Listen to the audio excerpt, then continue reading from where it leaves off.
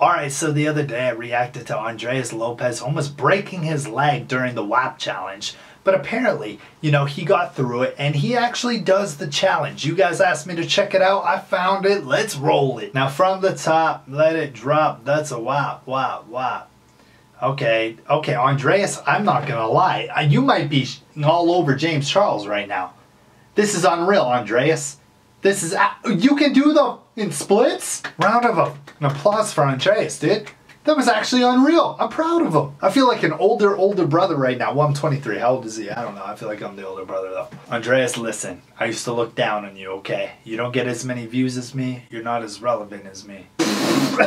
no, but no seriousness, bro, he killed it. I mean, I remember seeing the one clip where he literally smacked his tailbone and I didn't think he was going to recover. And to see that, Ondreaz, you deserve some sort of trophy. And that's going to wrap up the video right there. Tell me what you guys think down in the comments. Have an incredible rest of your day and peace.